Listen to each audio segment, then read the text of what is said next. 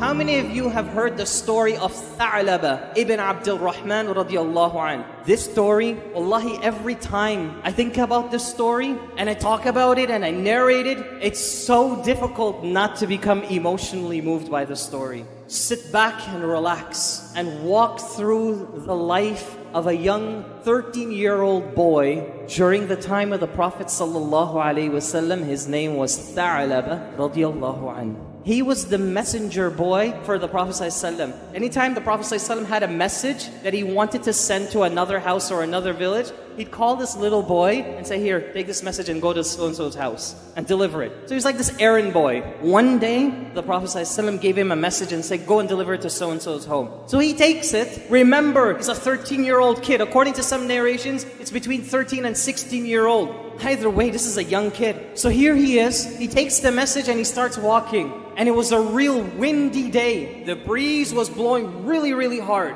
And he walked by a house. Back then, the homes didn't have doors, they had curtains. So on a windy day, the curtain would blow open.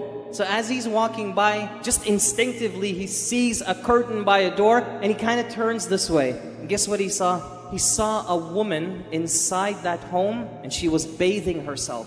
As soon as he looked, he turned away immediately and he started crying and he ran away. He actually ran outside of Medina. He ran outside of Medina and he left. You know why? Listen to what a 13 year old kid is thinking now. He said, Oh my goodness, I just saw this woman and Allah now is going to put me in the hellfire. That's what he's thinking. What do 13 year old kids think when this stuff happens to them?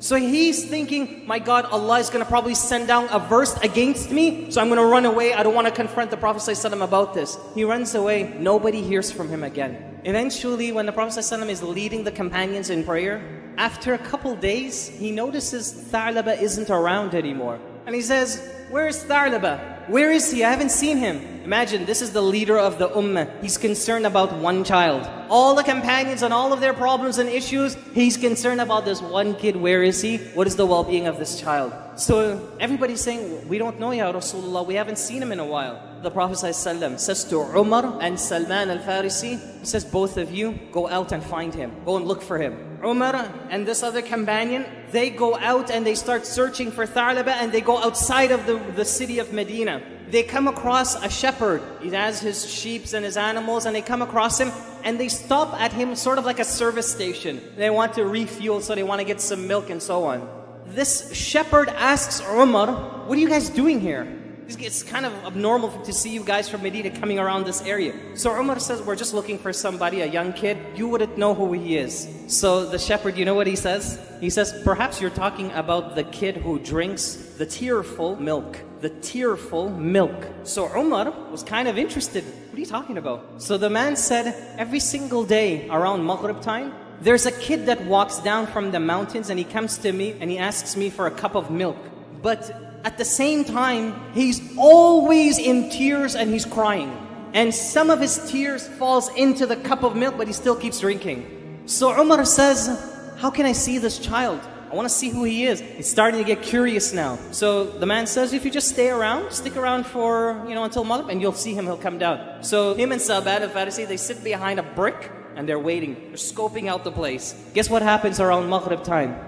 This little boy comes down, and he's crying and crying and crying.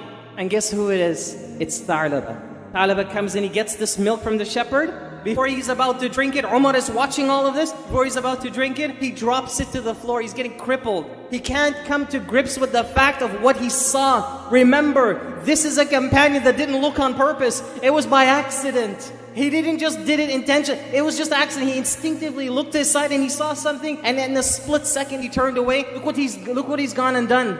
And he couldn't hold this cup of milk. Umar came out and confronted him. Tha'laba looks at Umar and says, No, no, no, no, no. What are you guys doing here? Umar radiallahu anhu said, Tha'laba, we came to get you because the Prophet would like to see you. Tha'laba says, No, no, no, no, no. Did an ayah come down against me? Did the Prophet say I'm going to the hellfire? Umar says, I don't know, but you're gonna have to come. Tha'laba is a little boy. Umar is mashallah tabarakallah, okay? So Tha'laba says, I'm not going anywhere. So Umar says, he doesn't really say, Who do you think you're talking to? But with that attitude, He says, Oh, no, no, no, you're going back to Medina. He picks up Tha'laba and he carries him back to Medina. When they get to Medina, they take Tha'laba to his house and they leave him there. They go to the Prophet ﷺ and they said, Ya Rasulullah, we found him, he's in his house. The Prophet ﷺ, you know what he does? He gets up right away and he walks to Tha'laba's house and he opens the curtain and he sees Tha'laba sitting there and he's crying. Tha'laba looks at the Prophet ﷺ and says, No, no, no, Ya Rasulullah, I can't confront you. I don't deserve to look at you. Listen to the Prophet ﷺ, Rahmatul lil the mercy to all mankind. Listen how he starts speaking. He says, Oh Tha'laba, it's okay, calm down. And he's saying, No, no, no, Ya Rasulullah, did an ayah come down against me? Am I going to the hellfire? And he says to them, Tha'laba, no, you're not. There's no verse against you. Come here. Look at his style of how he's going to comfort this child. This is not even his kid. It's just a citizen amongst the, the Sahabas. Says, come here. And he says to Tha'laba, put your head on my leg. Lie down and put your head on my leg. Listen to what Tha'laba says. Ya Rasulullah, this head is filled with so much sin and corruption, it doesn't deserve to lie down on the thigh of the Prophet of Allah sallallahu alaihi wasallam. This is a 13-year-old kid, okay? Prophet says, it's okay, just come. Tha'laba comes quietly and he lays down on the Prophet. It's like a father-son moment now. And Prophet ﷺ puts his hand on Tha'laba and says, Tha'laba, what do you want? What's going to make you feel better? And Tha'laba is crying and he says, Ya Rasulullah, I just want to know that Allah has forgiven me for what I did. And Prophet ﷺ says to Tha'laba, Allah has forgiven you, don't worry. Guess what happened to Tha'laba? His whole body started shivering.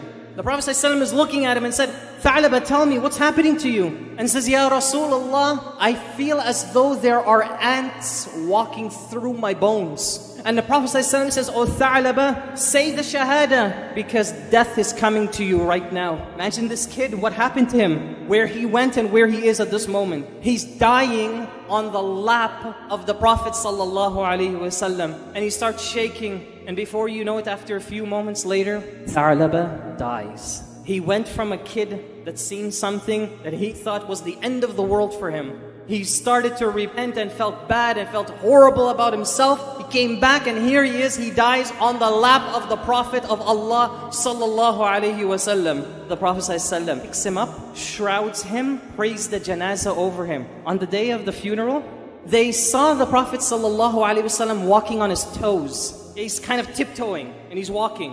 Umar radiallahu anh, he saw the Prophet ﷺ do this and he said, Ya Rasulullah, you're walking on the tip of your toes. But we the people, we've given you so much space to walk. Why are you doing that? Because he was doing it in such a manner as though it was very crowded. The Prophet ﷺ looks at Umar and says, Oh Umar, the reason why I am walking like this today is because there are so many angels present at the funeral of Tha'laba, I don't have a place to move. You see what happened? Where he went? Where is our life today? When we see something haram, when you just like simple like you turn on the news or something and you look at the screen. A lot of the kids have Facebook today. What are kids doing today? Look at your role model. Look at this 13-year-old Tha'laba radiallahu anhu, what he does. All because by accident he saw something haram.